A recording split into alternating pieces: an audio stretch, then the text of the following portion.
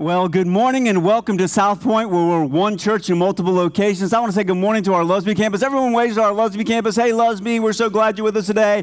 Uh, we're so glad that everyone here is Leonardtown. Is anyone fired up to be here this morning at Leonardtown? All right, Leonardtown. We want to say hi to those of you that are watching on our YouTube channel. We're so glad that you're here with us. My name is Matt. I'm part of the team here at South Point Church.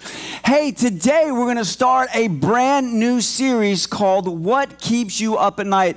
And I just want to thank Eaglebrook Church. They actually created the logo and the design, uh, but the sermon series is ours. But um, so we're just going to do this for the next couple of weeks. The next couple of weeks, we're going to go over this What Keeps You Up at Night. Um, and we just want to talk a little bit about a silent epidemic um, that is kind of overtaking our country. Um, and it's probably something that each and every one of us has actually experienced at some point in our life. Um, and this silent epidemic is something called worry. Now, I just want to take a quick survey. I want you to raise your hand if you've ever worried about something. Just go ahead and raise your hand. Um, everyone should have their hand raised because at some point, I bet all of you have worried about something. So, over the next couple weeks, this is going to apply to all of us that we worry. Matter of fact, if I was really honest, I have a confession worry and stress and kind of fear and anxiety is something that I've struggled with on and off almost my whole life. As a matter of fact, just a couple weeks ago, I had kind of this episode where like I was so stressed, I was so worried, I was just kind of so freaked out that like I just didn't sleep well through the night. Has that ever happened to anyone where you just were like stressed out and you had trouble sleeping and and you know it, what was keeping me up at night? And so I'm going to tell you a little bit about what happened. Um, um, matter of fact, I don't know if you know this or not, but we just finished graduation season. Congratulations to all the high school graduates, woo! All the college graduates, all the master's graduates, all the graduates pre-K Listen, when your kid graduates from pre-K, it's okay. They've got a lot more graduations to go. Anyway, so anyway, listen, it was graduation season. Um, I was at the office I was working, and I came home, and when I walked through the door, I was hit with something very, very instantly. My house was 85 degrees. and I went, what is going on? And my wife said the AC isn't working, and our AC isn't very old. It's only only like seven years old. But we walked. I walked in the door, and it was it was hotter than it is in this high school right now. It was just hot, blazing hot, right? And I'm like, what is going on? And so I checked the breaker, and you know, I did all the little things that I know how to do. And I was just like, man, this couldn't happen at a worse time. And here's why because that following week, my, I had family coming in, my daughter was graduating, my wife was just finishing up interning for her master's degree in counseling. And so we'd been kind of on half income. And, and I was like, oh my gosh, we've already replaced the compressor. I can't believe this. I have a big project coming up at work. I mean, life is just happening all around me. And now I'm gonna have to replace my whole system. It's gonna be five or six grand. And I've got to pay for like a graduation gift. I got a family coming. I have all these things going on at the same time. And that night, as I tried to sleep, all I could picture was all the worst case scenarios that would happen with all those things. And here's kind of the amazing thing is a, a, week or so went by, we borrowed an air conditioner, we got the house kind of cool enough, and when family came, it was fine, and my daughter graduated, and that went well. And we finally got someone out to fix the AC, and it wasn't a need for a new AC. Yes, thank you, God, right? I didn't need a new AC. Matter of fact, it was a fraction of the cost that I thought it was going to be, but it was still a lot of money just for a working class person, just so everyone knows. Like it was still more money than I wanted to pay, but it wasn't a brand new system. And here's what I thought. I thought, listen, I spent all this time, I spent all this time and energy worrying about something that didn't happen. And it got me thinking have you ever spent time and energy and sleepless nights worrying, stressed, or fearful about something that eventually never ever happened?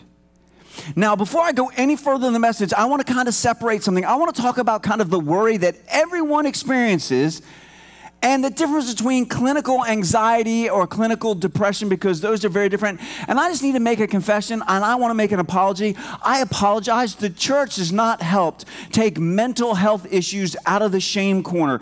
And so I just want to make sure this morning that if you have a clinical issue with anxiety or depression, like I don't want you to feel shame. Listen, like, and a matter of fact, I'm going to put it up on the screen and I want to say it this way. Listen, clinical depression and anxiety are, what's the word?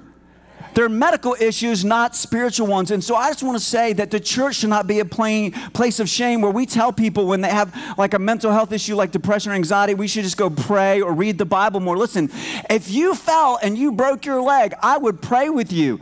But I'm going to pick you up and I'm going to take you to the emergency room and I'm going to get someone to get you some help. And listen, if you struggle with clinical depression or clinical anxiety or some other kind of mental health issue, listen, the biochemistry and the physiology and the neurology in your brain isn't working the way it's supposed to. So should we pray? Yes. But it is a medical issue, not a spiritual one. Can the church be a place that takes mental health issues out of the shame corner into a corner where we can love people graciously for Jesus? Now, as we kind of continue on, listen, listen, it doesn't really matter who you are or where you're at in your spiritual journey. Listen, it doesn't matter whether you have no faith, it doesn't matter whether you have different faith, it doesn't matter whether you're a follower of Jesus. Here's what I know each and every single person watching this video here today, listening to it, you at some point will experience stress, you'll experience worry, you'll experience fear, you will experience anxiety. Matter of fact, there's a bunch of things that we worry about. I'm going to put them up here on the screen. Listen, we worry about relationships, don't we? Listen, come on, listen listen, we worry about relationships. We worry, are people going to like me? Do I have a hanger? Is there something in my tooth? Do my coworkers like me? Does my boss like me? Am I ever going to get a date? Am I ever going to keep a date? Am I ever going to get engaged? Am I ever going to get married? What kind of mom? What kind of dad will I be? What, can I restore my relationship with my mom or my dad or a sibling? We worry about our relationships. And if we've ever been divorced, we go, Will I ever have that kind of relationship again? We worry about our relationships. Are we going to get along? Do they like me? Does my family like me? I need my, at least my family to like me. And we worry about not just our relationships, but we worry about our health. I'm too skinny. I'm too fat. I'm too wide. I'm too tall. I'm too short. I have too much hair, too little hair. You know, I've never met anybody that says I'm exactly happy the way I am. Everyone smile because that's us, right? Like we just, we all want to be something different. And then we begin to worry. Well, this, you know, this extra piece of cheesecake caused diabetes. I have a stomach ache. Oh my gosh. And we go on to WebMD and we just we discover we're dying, right? Um, and we begin to worry about our health. You know, we begin to work. What about my vision if I'm going to have to wear glasses? And and you know what is going to happen? You know, there's a family history of cancer. There's a family history of heart attacks. There's a family history. We begin to worry about our health, and then we worry about money. We worry about am I going to have enough money? And and is the money that I have currently going to last? And is it going to be enough? And and what kind of job am I going to have? Am I going to be able to keep that job? And am I going to be able to get promoted? And you know, sending kids to college is expensive. Just right, just tip right now you should invest in the Maryland whatever thing right now because it's expensive. Can I send my kids to college? You know, um, will I have enough money to retire on? I don't want to eat Alpo when I get old. You know, like I worry about my finances. And then you know what? Just shockingly, like this this statistic shocked me. It says that thirty percent to about 35% of what people worry about most is past things that they can't change. I mean, think about that. 30 to 35% of what you and I worry about is something in the past that we can no longer change. As a matter of fact, we're going to take one whole week to talk about regret. So you're not going to miss that one. But we spend a lot of time thinking about our past. Oh, that mistake. Will I ever be able to get past it? That thing that I did, that, that fight that I got in, that, that wrong decision that I made. Will I ever get? And we go back and we worry about something that we can't change. And then we worry about the future. What is tomorrow? What is next week going to look like? You know, what is my house? You know, what is my kids? You know, what happens when I get old? Will it be enough in my 401k? Will it become a 101k again? You know, we begin to worry about the future. And this is like, listen, listen, listen. This is understandable. I mean, like, here's the problem. Like, Americans used to, we used to kind of like worry about stuff occasionally. We'd occasionally worry about relationships. We'd occasionally worry about health. We'd occasionally worry about money. Occasionally worry about the past. Occasionally worry about the future. But the epidemic has shifted from you and I occasionally worrying to most Americans having a chronic habit of worrying. And this isn't just my idea or my opinion. Matter of fact, I was doing a bunch of research and I want to share some of the research from a recent study that I found. I'm going to put it up on the screen. And, and here's what they say Americans' anxiety levels are experiencing a sharp increase in the past year, with almost 40% of respondents saying they felt more anxious than they did a year ago. So 40% feel more anxious than they did a year ago. But wait, wait. It says that's pretty big spike following on the heels of a 36% jump between 2016 and 2017. So they're saying, listen, in the last two years, 76% 50% of Americans have had a significant increase in anxiety. As I was doing research, I discovered this amazing but mind boggling fact. In 1980, only 4% of Americans would deal with an anxiety issue. Now in America, 50% of Americans will at some point in their life deal with an anxiety issue. Something is going on where we've gone from occasionally worrying to being chronic worriers. Matter of fact, it goes on to say this it says, This poll shows that U.S. adults are increasingly anxious, particularly about health, safety, and finances, says the American Psychiatric Association president, Anita Everett. But then she goes on and she says something that was so stunning that I want to make sure that we didn't gloss over, that we heard. Not only are we increasingly chronic worriers, but it has an effect. And here's what it says it says that increased stress and anxiety can, what's that word? Significantly like that chronic worrying, chronic stress, chronic fear, chronic anxiety doesn't just impact your life, it significantly impacts many aspects of people's lives, including their mental health, and it affects their families. Listen, this isn't a church person, this isn't a pastor. These are professionals who are interviewing people and seeing what's going on in the country, and they're saying, listen, when you have chronic worry, when you have chronic fear, when you have chronic stress, when you have chronic anxiety, it will significantly impact aspects, including their mental health and their families. Not only does it affect your mental health, not only does it affect your, your families, did you know it affects us physically? Matter of fact, you don't have to trust me. Why don't we trust Harvard? Matter of fact, I found this quote from Harvard Health Publishing. Here's what they says. But when anxiety persists in the absence of a need to fight or flee, Listen, when we chronically worry and we don't actually need to flee, we don't actually need to fight, here's what it says. It said not only can it interfere with our daily lives, so it says, listen, it's going to interfere with your daily lives, but it also undermines our physical health. Listen, the habit of chronic worry, the habit of chronic fear, the habit of chronic anxiety, the habit of chronic stress is destructive physically, it's destructive relationally, and it's destructive practically.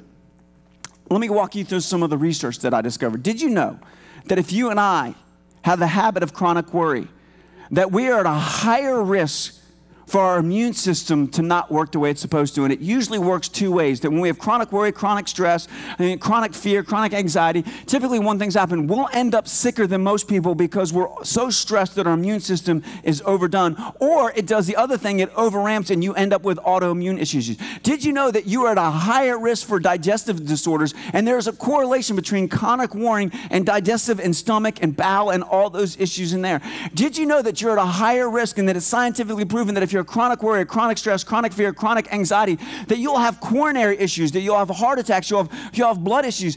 Did you know that you'll end up with insomnia when you have chronic worry, chronic fear, and chronic anxiety? Did you know?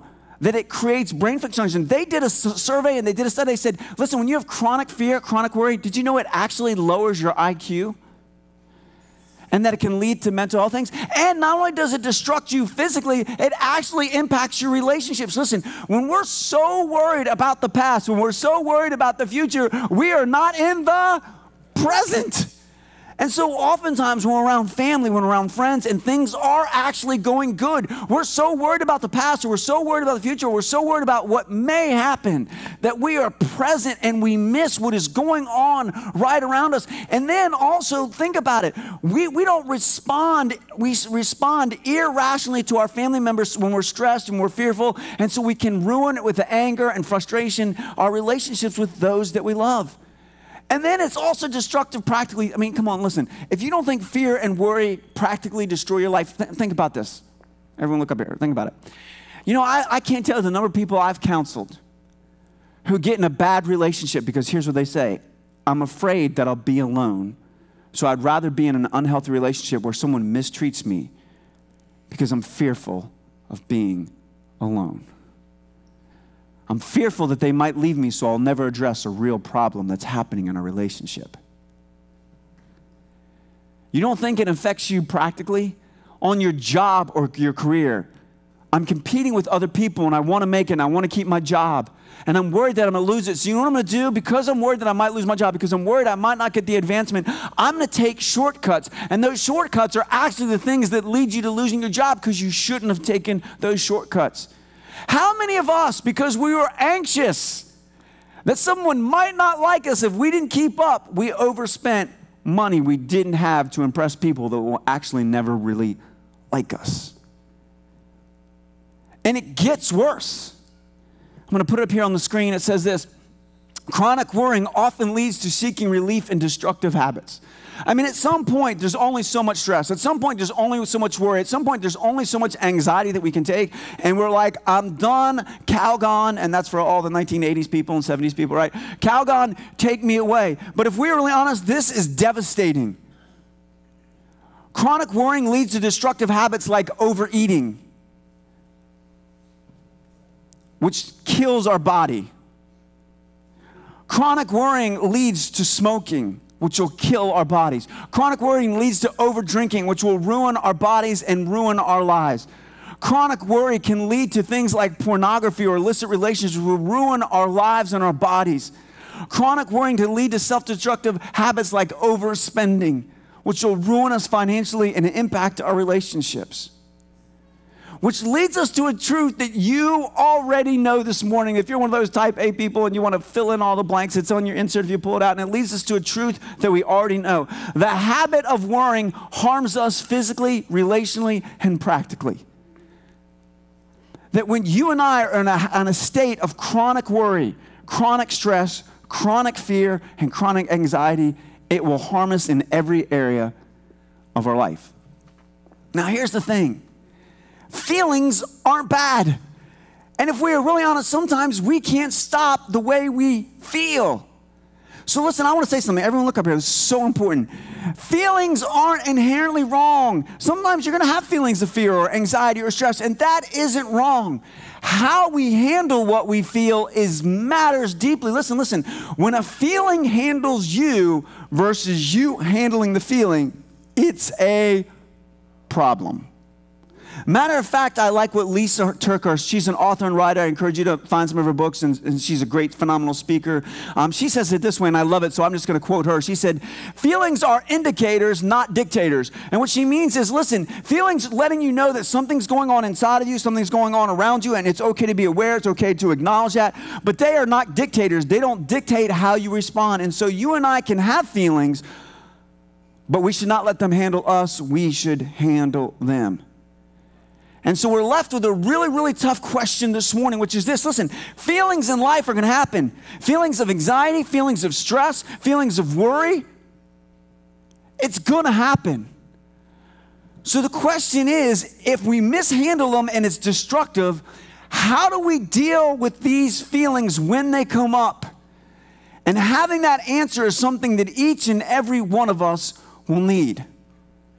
And that's why I couldn't wait to get here this morning. Listen, listen, listen. This is so good. Listen, God knew, God knew that you, God knew that I, God knew that we would struggle with this issue. Matter of fact, Jesus addresses this very issue.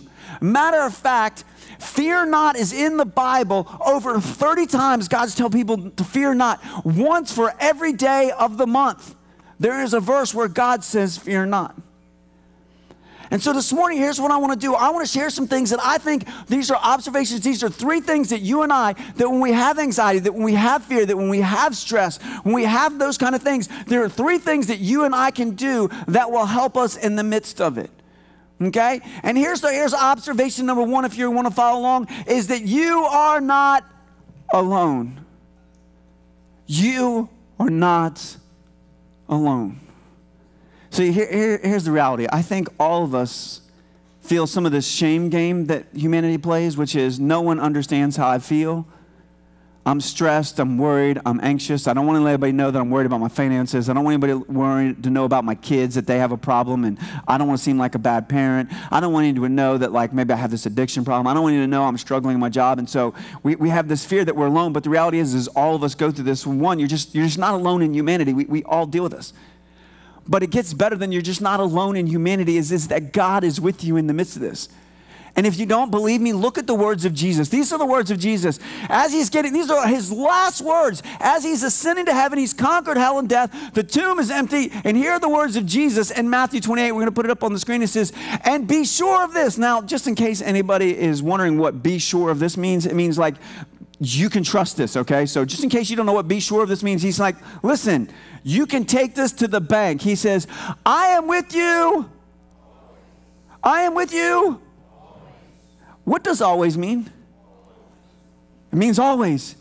Even, like it's not wrong, even to the end of the age. Jesus is with you, and you are not alone. And here's what's, here's what's mind boggling to me. This is why I love God, Jesus, and the Bible. That's why I'm so grateful for the Holy Spirit. Is that not only are you not alone, but did you know that Jesus experienced all the things and the trauma that humanity has, can throw?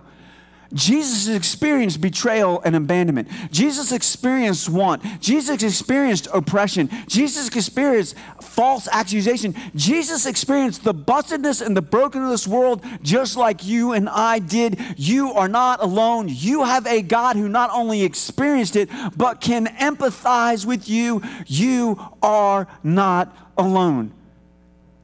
Matter of fact, I have um, an app on my phone and I highly recommend it. It's called the YouVersion Bible app. Every day it sends you a verse of the day. Matter of fact, this week it sent me this verse and I was like, man, this is just like Jesus. We're in the middle of this series. It's in Isaiah and I want to read it to you. And we're going to put it up here on the screen. And it says, when you go through deep waters. Now, I don't want to stop here. Everyone look, look over here and listen. Do you notice that he doesn't say you get to skip the deep waters?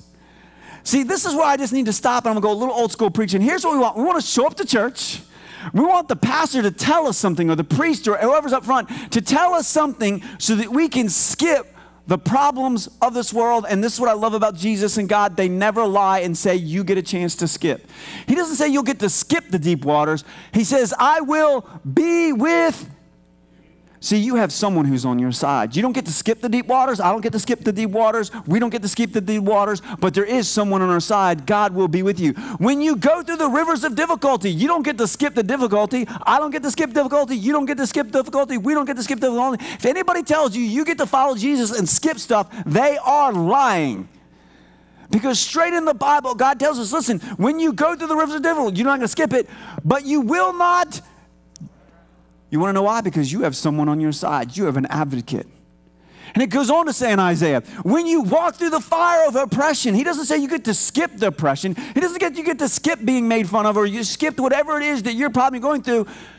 But you have someone on your side. You will not be burned up. The flames will not consume you. You have someone on your side. And here's what's amazing you have someone on your side who is all powerful and all loving, who's experienced the brokenness that we've experienced, and he is for you. Listen, I don't know how to explain this. I want to remind you anybody that would die for you is for you. You are not alone. But many times we are fearful and we are anxious and we are stressed because we believe that we are alone. But here's great listen, there's so much. You are not alone this morning. There is a God in heaven who is for you and he is on your side, but you do not get to skip.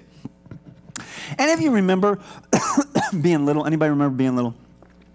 Do you remember like you wanted to spend the night over with your best best friends, your best girlfriend or your best boyfriend? And do you remember when you're little and you were at your house playing and, and you knew that you wanted to ask mom and dad if your best friend could like spend the night? Did you go ask your mom and dad by yourself? No. You knew if your mom and dad might say no. What did you do? You always brought along your friend right with him, right up to mom and dad, and said, Can we spend the night? Like you always, you did it together because you didn't want to do it. Because when you have someone on your side, it is much easier to face your fears. It's much easier to face your stress and your worries and your anxieties when you are not alone. And if you walk away hearing something this morning, I want you to walk away knowing the words of Jesus. It says, I will be with you always. And here's the thing sometimes we think there's a sin or a circumstance that means that God has left us. And I want to get to that in a second, but I just I want to be really clear. There is no sin and there is no circumstance that can separate us from the love of God found not in a religion, not in a pastor, not in a country, not in a politics, but in a person, and his name is Jesus. That's why at South Point, our number one value is Jesus is a big deal. You are not alone. Which leads me to observation number two, which is this you're deeply loved by God. You're loved. And you know what? Most of us don't believe it. And I'll be honest, this is one that I struggle with because I know me. I know how busted and broken I am. I see all my crazy thoughts. I know all the bad things that I've done in the past. I know who I truly am, and I know that God can see it. And sometimes I actually wonder could God love someone like. But God absolutely, deeply loves you. Matter of fact, I love what the scripture says. I'm going to put it up on the screen here. And it says, There is no fear in love. God is love. There's no fear in love. Perfect love drives out all fear. So then, love has not been made perfect, and anyone is afraid because fear has to do with punishment. And here's what happens. Here's, here's what happens. Come on, I'm going to break it down. Here's what happens a problem or something bad happens. We get sick, we get fired, our AC breaks, you know, the tire goes flat, someone calls us, and like something bad, a problem happens. And you know what you think? Gosh, God, you don't love me. I must have done something, and He's trying to punish me. But that's not but that's not what the scripture says. The Bible says fear is because you don't believe in love. Perfect love drives out all fear. God is not looking to punish you. And here's how I know God is not looking to punish you because he punished Jesus in our place. You see, that's why we sing songs. That's why we're so fired up on Sunday. That's why we get happy. That's why we raise our hands. That's why we get together every week to remind ourselves that you and I don't get punished, that Jesus took our punishment, my punishment, your punishment, our punishment. God's punishment has already been doled out on Jesus so that his love could be doled out on us. I was trying to think of a way to explain this. And so, true story. Anybody got teens here? Anybody got teens here? Let's pray for each other, right? We should, we should pray for each other because teens, man. Um, I remember a while ago I was having a conversation. I have two daughters and they're, and they're both teens. Um, they both graduated high school, so I'm very proud of them and they're doing really good and they're great and they're awesome and I love them. Um, but a little while ago, one of them was, um, you know, making some decisions that I didn't necessarily agree with. And we were kind of at the dinner table talking about these decisions. And I was like, I think this decision um, is going to lead to pain and it's going to lead to hurt. And I don't think you should make the decision. And they're like, well, I'm old enough and I can make my own decision. You know, we're having that, that, that, that, that, that adult teen conversation where I'm going, I am for you, I am not against you. I am, I'm not telling you this to like keep you from having fun. I'm telling you this because I love you and I think the choice that you're going to make is going to harm you. But I also have to understand that you're becoming an adult and I have to let you make some decisions so that you can understand that your decisions have consequences, right? And so they were, was, she just said, I want to make this decision. I said, I don't think that's a bad decision. And then here's what my daughter said to me. She looked me right now and I love it. so fiery. She said, Well, you can punish me.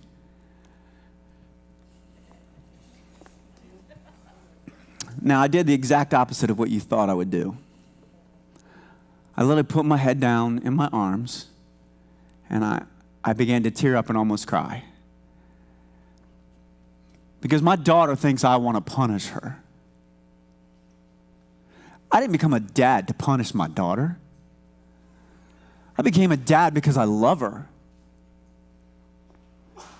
So I lifted my head up with tears in my eyes. I looked my daughter straight in the eye and I said, I don't want to punish you. I love you. Now, if a busted, broken person like me can look at a busted and broken daughter who's awesome and great but is flawed just like all of us, how much more do you think your Heavenly Father looks at you and I and goes, I have no desire to punish you? I love you. You are deeply loved. The problems that you and I experience in life are not punishment. They're problems because the world is busted and broken. And here's the part that no one wants to admit, but I'm going to say it out loud, and you can hate me if you want, but it's true of me, it's true of you, it's true of we, right? Many of the problems that we face are because we made bad decisions. And then we blame God like he's punishing us. And he's going, no, you're just, you just, you're reaping what you say. You get in the, like it's the law. For every action, there's an equal and opposite reaction. I'm not punishing you. I. You don't believe me? Here's what the Apostle Paul writes to a church. It's one of my favorite verses in all the Bible, Romans 8. He writes this He says, I am convinced that nothing can ever separate us from God's love. He's saying, Listen, I've been through all kinds of things. I, I, people have tried to kill me, I've been whipped, I've been shipwrecked. I used to persecute you. I encountered a risen Christ. But here's what I believe I'm convinced that nothing can ever separate us from God's love. Neither death, nor life, nor angels, nor demons, nor fears today or worries about tomorrow. Not even the powers of hell can separate us from God's love. No power in the sky above or on earth below. Indeed, nothing. What does nothing mean? Listen, if you only hear one thing today, I want you to hear this. There is nothing in all of creation that can separate us from the love of God that is revealed in Jesus. You are deeply loved. Whenever fear or anxiety or worry comes up, I, there's some things that we can remember. One is you're not alone. And two, you are, you are deeply, deeply loved. And there is nothing that can separate you from the love of God and your problems and your struggles aren't because God is punishing you or He doesn't love you. It's because we live in a busted and broken world, which exactly leads into observation number three. If we could just remember this, listen, here it is. We skip to the last chapter and it reveals we, we win. So, is, am I the only person fired up? And we, we in the end, we win. Okay. I don't know about you. I've been a Caps fan for a really long time. Yeah, we just became NHL uh, uh, Stanley Cup champions, right? Go Caps, right? I remember my first iteration of the Caps with like Dale Hunter and, and, and that. And then the second iteration with like Joey Juneau and Peter Bondra and Ole, like, and just year after year. And then Ovechkin came and I thought we'd finally win a cup, and it's been year after year of disappointment. But in the end, we won. And sometimes I think, as followers of Jesus, as we go through life and we experience problems and pain and loss, and listen, listen, I don't want to, I don't want to like not value the reality that when we lose a family member, when we experience problems, when we can't pay our bills, when the brokenness of life happens, it hurts and it doesn't feel good. I'm not, I'm not negating that. But did you know that in the end, we we win. In the end, we win. I love what it says in Revelation. In Revelation, it says this. We're going to go past the next one. We're going to go to Revelation. Revelation 21 4 says this He will wipe away every tear from their eyes, and there'll be no more death, sorrow, or crying or pain. All these things are gone forever. You see, there'll be a day where God comes back, and He will wipe away every tear. He will make every wrong right, and all things will be set right. And people go, Matt, how can you believe that? And I go, because the tomb is empty. There's one who's conquered hell and death, and he's going to come back. And I don't know what's going to happen in this lifetime, and I don't know when he's coming back. And Jesus said, Nobody knows, so don't believe the TV preacher. They don't know either. All I know is when he comes back, we win. When I was a little kid, I was so mad. In 1977, I can remember, see, most of you, some of you may remember this. The word blockbuster movie came from the old days that when you went to go see a movie and it was really popular, you literally stood a block outside the theater. It wasn't these megaplexes that they have nowadays, they were small little buildings, and when they got really full, you had to stand outside. I remember in 1977, I stood out line in line for one of the best movies ever. It's called Star Wars. Yeah, let's go Star Wars. I'm a nerd. I'm okay with that. So anyway, stood out line for and I was so pumped. It was great. Loved it. Great ending. But I waited three years for the next movie, which was called The Empire Strikes Back. And I hated life for three years. Because in 1980, Luke found out his father was Darth Vader. And he lost his hand. And Han Solo got frozen, and the rebellion was on edge. And what was going to happen? How could a movie end so poorly? And I had to wait three years till 1983 to see Return of the Jedi. And see, here's the reality. See, life is like being in The Empire Strikes Back.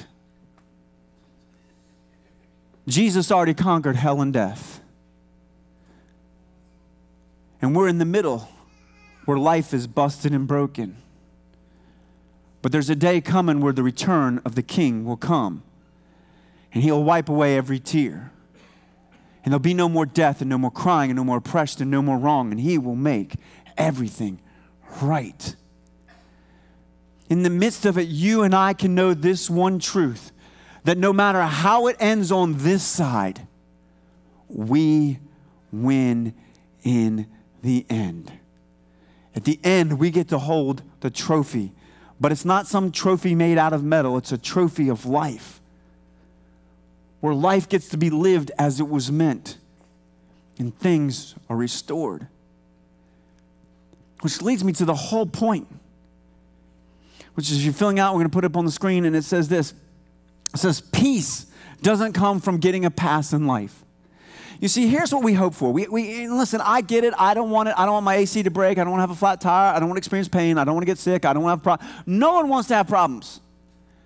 But coming to church, believing in God, following Jesus, putting money, serving, doing all those things, being a part of what's right and doing good doesn't mean you and I get a, no one gets a pass. Life happens to all of us. Peace isn't about getting a pass in life, it comes from who's present with you in your. Who's present with you? You are not alone. You have the Creator who spoke the universe into existence alongside, living inside of you. You are deeply loved. You are not defined by the circumstances. You are defined by a cross that is empty, and the tomb is also empty. And you can be aware and know that you will win in the end. So, peace doesn't come from getting a pass, peace comes from who is present, who's with us. And here's where I just, here's where I want to go a little old school. See, many people show up to South Point, and I, I, I, get it. Maybe, maybe you fell away from church. Maybe you've never ever gone to church. Maybe you came to this church because you know you wanted to try a different kind of church. Maybe someone dragged you here. And I just want, I just want to say something. I just want to say something really, really important. See, there's a difference in believing in God, and there's a difference about knowing about God than actually having received God. Have actually saying, yes to Jesus. Because listen, life is going to happen, and you're going to have fear, and you're going to have anxiety, and you're going to have worry. And I want to ask you, is it real, do you really think the best option to handle what life throws at you is for you to go it alone? Do you really think the best option for you to handle all that life's going to throw for you is to medicate your life on things that will create more destruction? Or would it make sense to invite Jesus to hold the wheel of your life, to let Him lead you? You see, when we face these things in life, we don't have to do it alone. As we face these things in life, we can, we can understand that we are deeply loved and it is not punishment. That punishment was already given to Jesus. And we can also know that in the end, if we have Jesus, if we said yes and we've received him, in the end we win. He said, Do not fear, do not be troubled. I go to make a place where you can come and be with me. So as I close this out, as we, as we kind of kick off the series, and we're going to kind of continue along the same over the next couple weeks, but before we go any further in the series, I want to ask you, have you done more than just believe in God? Have you done more than just know about God? I want to ask you, have you received Jesus? Have you said yes to him? Because life is better with Jesus, and we're better at life with Jesus. And I'm not talking about politics, I'm not talking about religion, I'm not talking about a pastor, I'm talking about a personal relationship with one named Jesus. And here's what I can tell you. At 49 years old, I've been following Jesus since I'm 18. And I can tell you this He will not let you down, He will be with you always. He comes through, He does not disappoint. He does what no one else can do. And so I just want to kind of close this service with a prayer. And if you're here today and you have maybe believed in God, maybe you know about God, but you've never actually received God, I'm going to pray a little prayer. And, and here's just, it means following Jesus is just so simple. One is we just admit, we just admit that we don't make the grade, that we've made choices that are wrong, that we've sinned. We believe who Jesus is and that God poured out his punishment and Jesus was our substitute. And that we don't make, we're not made right with God by our religiosity, we're made right by what Jesus did. And then lastly is just commit to follow him. I know too many people go, listen, I believe in God, I love Jesus, I want to follow him, but I know I'm imperfect. Great, so does God. God doesn't call you and I to, to, to perfection because He asks us to, try, to aim for that, but He knows that none of us to be that. Just commit to following Him. So I'm going to close in prayer, and if that's you, would you pray this alongside with me? Heavenly Father, we are here today knowing that there are going to be circumstances and problems, not because you want to punish us, but because life is busted and broken. And God, we don't want to go through it alone. We don't want to go through it unloved, and we don't want to lose. So, God, today I admit that I'm broken and I've committed faults and sins, and I'm guilty. God, I believe that Jesus is who he says he is. And then he took my place and took my punishment so that I could be made right with you. And today I commit, I commit not to a religion, but to you, Jesus, to the person of Jesus, to follow you, to let you lead my life. I invite you to come live on the inside of me through the Holy Spirit. Because when we do that, we are never alone. There is nothing that can separate us from the love found in Jesus, and we win. And that is our prayer today. In Jesus' name, amen.